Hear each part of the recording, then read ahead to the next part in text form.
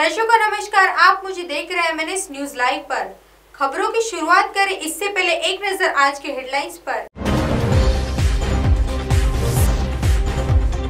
Delhi airport पर पकड़ाई 30 करोड़ की ड्रग्स। मनी लॉन्ड्रिंग मामले में नीरज सिंह के ठिकानों पर छापे मारे एक साल में इतना काम किया है कि उतना चुनी हुई सरकारें भी नहीं करती। पंजाब में कांग्रेस प्रदेश अध्यक्ष पद से बने रहेंगे नेता। पार्टी ने इस्तीफा किया नामंजूर। आइए देखते हैं खबरें विस्तार से। दिल्ली एयरपोर्ट पर पकड़ाई 30 करोड़ की ड्रग्स। नार्कोटिक्स कंट्रोल ब्यूरो ने दिल्ली के इंदिरा गांधी नेशनल एयरपोर्ट पर अफ़गानिस्तान के तीन नागरिकों को गिरफ़्तार किया है। जानकारी के मुताबिक ये तीनों नागरिक अफ़गानिस्तान के कंधार ऐसी अपने पेट में हीरोइन छुपा कर लाए थे। मनी लॉन्ड्रिंग मामले में नीरज सिंह के ठिकानों पर छापेमारी, कई दस्तावेज़ दस्तावेज़ जब प्रवर्तन निदेशालय ने आईआरएस नीरज सिंह और अन्य के खिलाफ मनी लॉन्ड्रिंग मामले के तहत छह जगहों पर छापेमारी की। इनमें कोलकाता, मुंबई और पटना में दो दो जगहों पर छापेमारी की गई। वही ईडी ने इस दौरान कई संपत्तियों के दस्तावेज़, बैंक खाते और निवेश से जुड़े दस्तावेज़ जब्त किए हैं। एक साल में इतना काम किया है, उतना चुनी हुई सरकारें भी नहीं करती। जम्मू कश्मीर के राज्यपाल सत्यपाल मलिक ने शनिवार को कहा कि देशवासियों को लगता है कि राज्यपाल एक ऐसा व्यक्ति होता है जो गोल्फ खेलता है और लोगों के लिए कुछ नहीं करता।